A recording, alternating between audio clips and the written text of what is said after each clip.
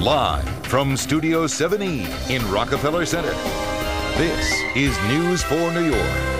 Now, if you are a committed catalog shopper, these tough times may make the habit even tougher, but there is a way to satisfy the need to browse without breaking the bank. All right, and the best part, you'll be helping someone else while you're at it. Our own Kat Greenleaf is here to fill us in on this different kind of catalog. Good morning. Good morning. Here it is right now, in fact. It is called the Catalog for Giving. And instead of putting your money toward stuff, this catalog helps you put your dollars into nonprofit organizations that help out kids in need. Donations don't need to be big, but everything you spend goes right into unique programs that help develop exceptional young people.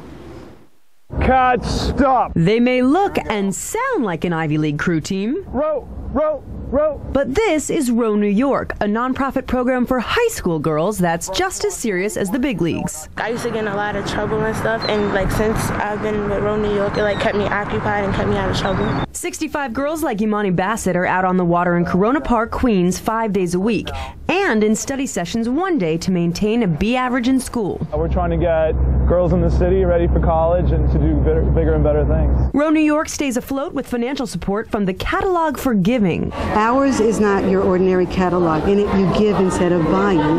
And what you get in return is the rare opportunity to transform a young life in profound and lasting ways. Through the catalog, donors give small amounts to any of 10 grassroots organizations for at risk kids, including arts, literary, and athletic programs like Row. If you give $100 to us, $100 goes to the organizations. Which means Row New York stays free for Imani's mom, Iva. Everything is here for her. Everything. All I have to do is bring her. That's a great deal, right? Well, the girls think so. It's a lot of time, huge commitment, but it's definitely worth it. You're working out more. I'm hearing you're doing better in school. Yes. You have more friends. You're on top of time management. Mm-hmm. There's got to be a downside. I'm a reporter. I need to show both sides of the story. Okay, it's cold out. That's a small price to pay. Excellent. And I think it's a great discipline. I think Imani will learn a lot from this.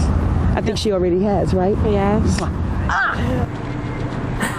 Now, the catalog for giving comes out once every three years and offers up 10 solid choices for you to donate to. For all the information, please head to NBCNewYork.com and search the keyword catalog. And the nice thing is you can donate any denomination. If you have 10 bucks, they'll take it. Of course, they'd like more. Who wouldn't? Right. and every penny goes to nonprofits because the catalog's board covers, covers all their overhead. So you don't have to feel like you're writing a check and it might right. be going to, to pay the lighting bill. That's not how it works. That's fantastic. And those yeah. are key points, right? If you give Absolutely. us $100, we spend $100 on the program. And that, yeah, that's a big advantage. Yeah, definitely. That was great, Kat. Thank, Thank you very you. much. Thanks. Thank you.